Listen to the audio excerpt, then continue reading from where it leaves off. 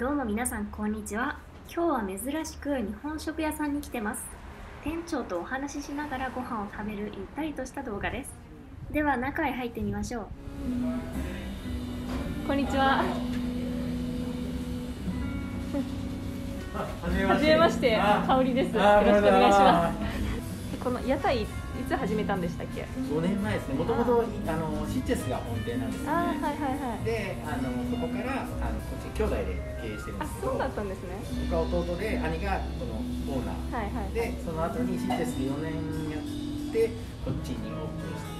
あまあね、あの香織さんとこのね、あの兄弟のように、あのいやいやいや一緒にジム行くような仲じゃない。でもそれは普段住んでるところが違うのでだからあ、そっかそっか、安たまにに会うからね。そうですよグループで住んでます。そうなんですよ男の子のね。みんな YouTuber で YouTuber でね、すごいですよね。う。ん羨ましいですわそれぐらいにならないとビジネスにならないんですよあ、そうですよね。はい僕僕今7人。ちょっとみ遠いですねまだ 遠い遠い。はいまあお好きなところ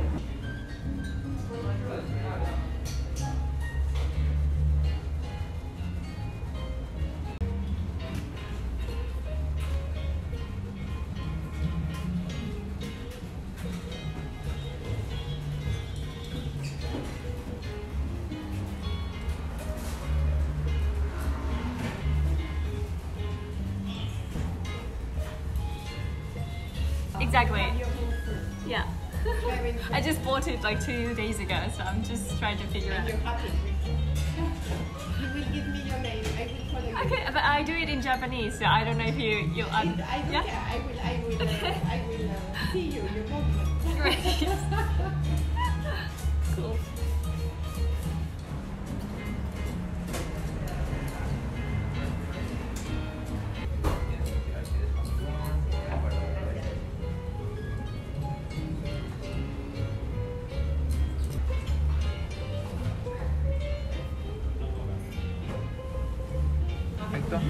salsa de vinagreta de soja y esto aquí es sésamo. Vale.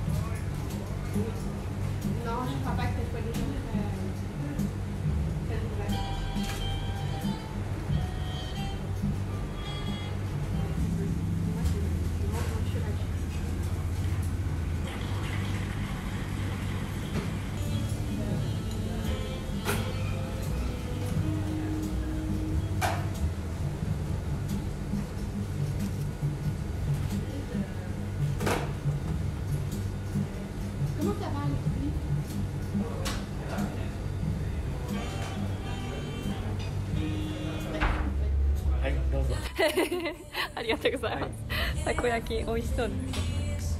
屋台といえばたこ焼きですね。そうですね。タコのマークですもんね。たタコのマークでおなじみの。T シャツの説明をあ、そうですね。はい。まあ、もうすごい話長いって言われるんですけど、大丈夫です。か。大丈夫です。後で切ります。ジョキジョキめっちゃ切ります。まあ、コロナになって各レストランが非常にもうお客さんが少なくてロックダウンになってから新規のお客さんがすごい増えたんですよね。あ本当ですか？はい、で在宅勤務になって、はい。普段と違う、まあ、道を使ってコーヒーを買いに行ったりとか普段やってるカフェカフェがやってなくて、うんうんうん。こっちに歩いてきたとかで初めて見つけられたって方がすごい多かったんですよね、はい。まあ、5年近くなるんですけど初めてねお客さんがあの見つけたっていう方がすごい多かったので、知らない方も多いだろうなと思ってその日本食のねまあこれを機にここに載ってる26社っていうお店が本当の日本食というか、はい。うんうん。ここにに行ったら間違いないですよっていうお店をこちらからアピールしていって一つのお店でお客さんを囲い込むんじゃなくて、うんうんうん。もっともっとこういろんなお店に誘導していって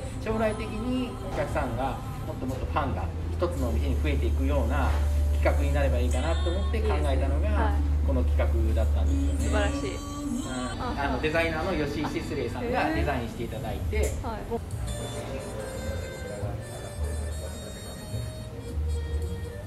個一個こうハンでするっていうあそうだったんですね。やってるのであのすごく。手作り感がありますそうですね手作り感があって看板見ただけだと、はい。本当に日本人かどうかって入ってみないと全然わからないですね。し入ってみてもわからない人もいますしね知り合いの方とかも結構あの日本食好きじゃないって言ってえってねトラウマなんじゃないそうそうトラウマになるんでどどこ行ったらって言ったどら富士山っていうレストラン行ったんでいやいやいやもうそれはねだから多分違うと思うよっていう話をして。ではではいただきます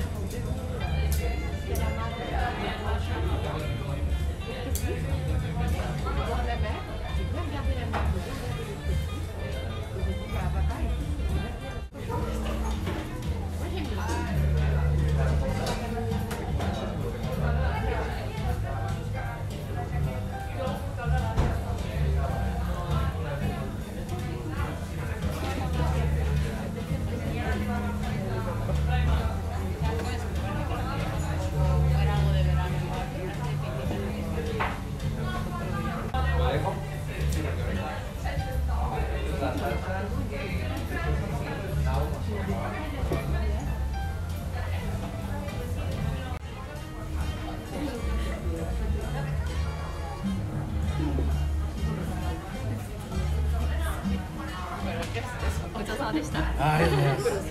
美味しかったですけ結構あの辛口ですよね普段。私ですか、うん、動画見ててうわっと思ってうわちょっと怖いなと思って。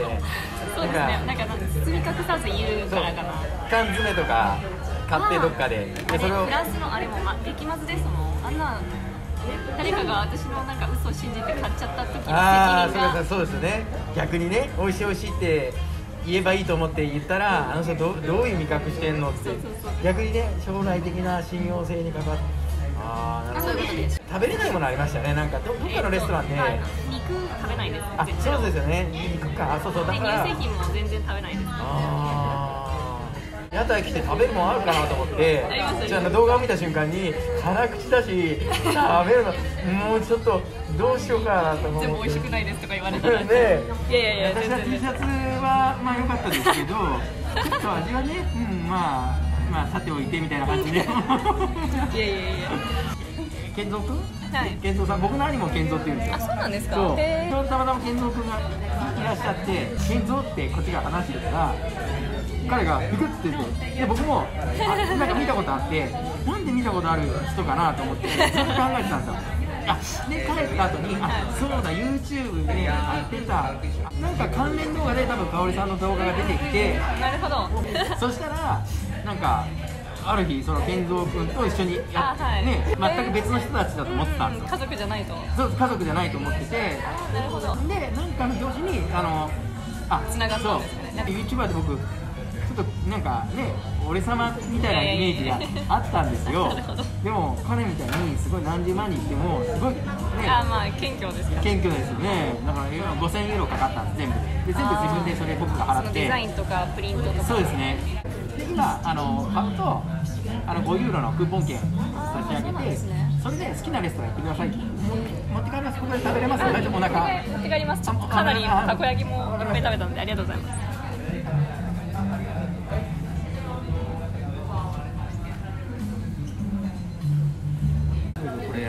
視聴者プレゼントではい。ありがとうございます。すみません話話長いからいえいえいえ。バットボタンがいっぱいつかめてあのかおりちゃんは可愛いけどこのなんか変なキモいいやいや日本人どうにかしてって。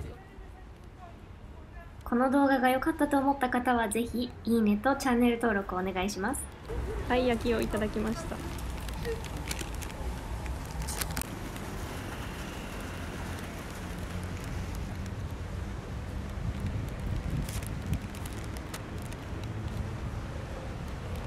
うん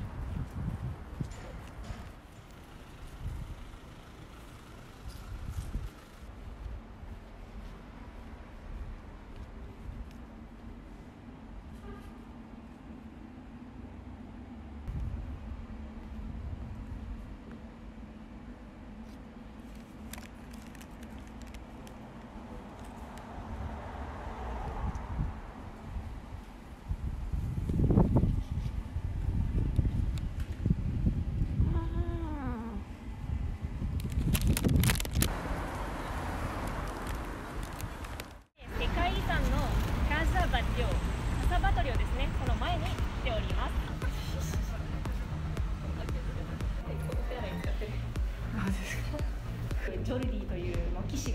お姫様を助けた。